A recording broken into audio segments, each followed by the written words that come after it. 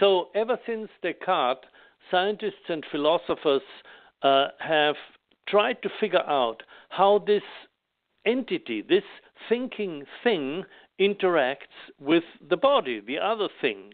And the big yes. breakthrough in system science, and this goes back to Maturana and Varela, is and to Gregory Bateson, is mm-hmm. to recognize that the mind is not a thing but a process.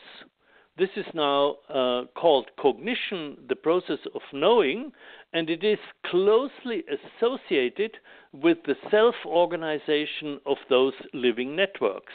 So, the very process of self organization is a cognitive process, and that is a huge, uh, very revolutionary breakthrough. That is. I very much appreciated that in your work here, where the notion, and maybe you could talk about this, uh, the notion of consciousness, which is otherwise considered utterly massive in its importance, is virtually, if I understand correctly, a subset of cognitive function. That's that's right. This this uh, concept of cognition, which goes back to as I said, Gregory Bateson and Humberto Maturana, who discovered yes. it independently in, in the late uh, 1960s. Uh, this, this concept sees cognition, the process of knowing, as an essential process of all life.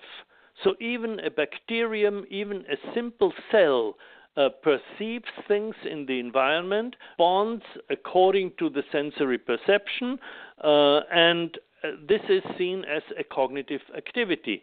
And as uh, organisms become more and more complex in the history of evolution, the processes of cognition that are always associated with the biological structures also become more and more complex, and we get the evolution of a nervous system, the evolution of a brain, and at a certain stage of evolution, then something new emerges, and that is self awareness. To be aware not only of the environment, but of oneself. Not only to know, but also to know that, that we know. And that is what, what is called consciousness. And uh, consciousness actually is used in, in many different ways in different traditions yeah. and by different people. But this is this kind of reflective kind of consciousness is uh, mm-hmm. what what I call uh, when I consciousness when I use the term. So it is a special type of cognition, a special cognitive process of a certain complexity which emerged in in the great apes and then the hominids and humans in evolution. You know, I want to bring this up because I, I remember you're mentioning that in something I, I was watching of yours. And we know today, first of all, one of the things you keep kind of uh, bringing forward in the way you speak is this this relationship between our intuitive knowing and our conscious analytical scientific inquiry. Right. And you have been I don't have to say masterful in articulating the scientific aspect of our in collective intuitive knowing. I don't mean everyone, but many people who have taken the time to be reflective about the nature of life, the nature of mm-hmm. reality, the nature of perception. So, from this point of view, we, even scientifically, we know from books such as The Secret Life of Plants, and much research has been done since then about the communication between humans and trees and plants and even Gaia as an intelligence herself and the native peoples, the indigenous people from all over the world, are highly expressive of this deep, abiding exactly. relationship. Exactly. How does that figure into what you're putting forward? Yeah. Well, first of all, let's start with the last point that indigenous cultures, Native American cultures, for instance, when they talk mm-hmm. about nature, when they talk about the plants and animals in our environment, they call them their relations. Right? All my Yes, relations. all my That's a very very well known uh, expression. Right. Well, they're Mhm. right. They are, they are literally right because ever since Darwin we know that all living species have a common ancestor. And since we all have a common ancestor, we are all related.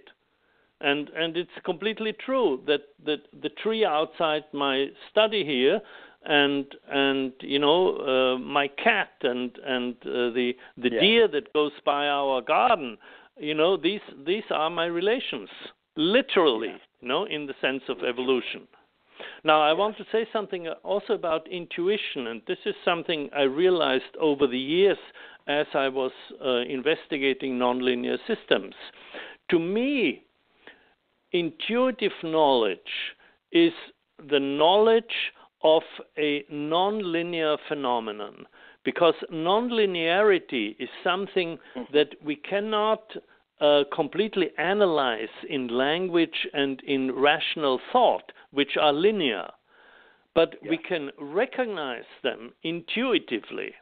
Let me give you an, an example that I often use in, in my classes, and I also use it in my online course uh, when, when I talk to my students.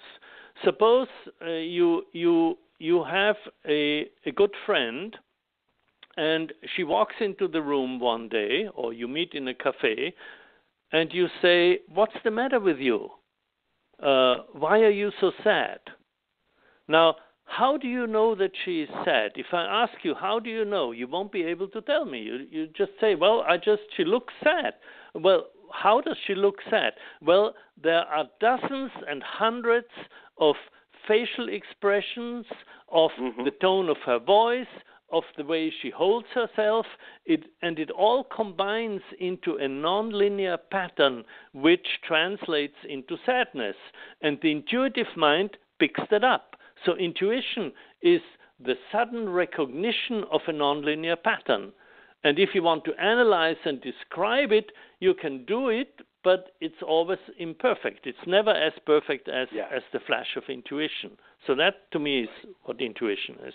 Beautiful. I like that. It's uh, it's the combination of what might be a thousand or ten thousand bits of information Exactly. of micro movements, and it's Yeah. as though right we have a um, an antenna, which Yeah. and in fact we do. It's called the nervous system Yeah, and, and our perceptual apparatus, right? Yeah, is and this is precisely what those psychologists in the 1920s and 30s called a gestalt. A gestalt for them is a a perceptual and nonlinear perceptual pattern, and it takes intuition to perceive it. Yes, exactly. And you're right. We can linearize it if we want to. It would be very tedious. but it's almost like you take the old movies where Nickelodeon where you would go frame by frame Yes, and the yes. faster you Yes, turned the it becomes continuous. Well, Right. of course, the Buddhists believe that's actually all reality is just Yeah. occurring in flashes anyway, and Yeah. we're the ones through our perceptual uh, framework and mindset connect all of those dots Yeah. and turn it into a sequence Yeah. that we and call you our see, lives. um, right? You see, in science, we, we were helped enormously in the last uh, 20, 30 years by this development of a nonlinear mathematics with the help of computers. We can now Yeah. analyze things non-linearly. And uh, when you solve a nonlinear equation with these new techniques, what you get is not a formula like the equations we, we used to solve in high school, but uh, you get a pattern. You get a holistic pattern, and the strange attractors of chaos theory Yeah. or the fractals of fractal geometry are those patterns. Sure. You program the computer to draw out this pattern, and the pattern is a uh, representation of the dynamics of an entire system. Fascinating. And now they have quantum computers. I can't even Yeah, I mean, this to is, uh, imagine Yeah, what that is. Yeah. is I don't even want to start talking about. Oh, this. okay. That's a whole other thing. But I Yeah. I do want to bring up before we part the uh, deep relationship you have with Gaia, with Mother Earth, which has shown up in much of your work. And while some of it is articulated explicitly, it is always implicit. There we go with intuition again and reading yeah, between thank the you. lines. And Uh, and also, sure. you know, this it comes through also when I teach. You know, I've I've been Yes. teaching uh, my whole professional life, and now I have embarked on a new venture, which is, as you mentioned, uh, my online course, uh, Yes. which uh, Please I tell us about that, so people yeah, it's can uh, I call it if Ca- they wish. I call it Capra course just uh, so that people can easily find it on the internet and recognize it. And Yes. it is it is based on the Systems View of Life, based on the textbook, and it consists of 12 pre-recorded lectures that were recorded in a very beautiful environment in the living room of an architect, a friend of mine, uh, with with a lot of art, a lot of symbolic decorations, and so on, with a small audience of 10 to 15 people. So each lecture is about 40 minutes, and each lecture is available or is is presented uh, for one week. And the past lectures remain available, but each week you get a new lecture. And in addition to that, we have an online discussion forum in which I participate regularly.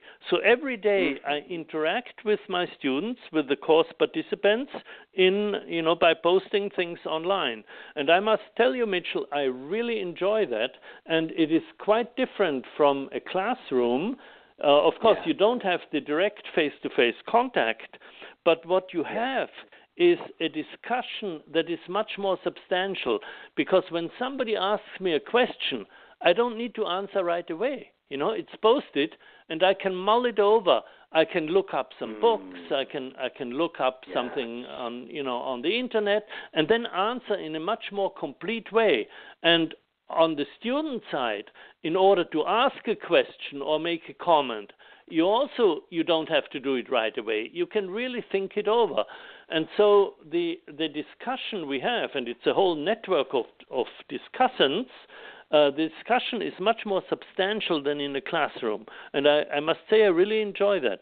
I spend about half an hour a day when the course runs. Spend about Mhm. 30 minutes a day interacting with my students, and I really enjoy it.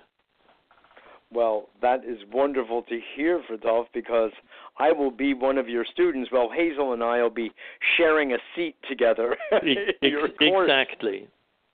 So for for Uh, our listeners, there's a very extensive website uh, at capracourse.net where you can find all the details. fantastic. There is one more quintessential question that I have to ask you Sure. because of this deep relationship you have with systems, natural systems, and clearly your love of the earth, planet, and and life itself.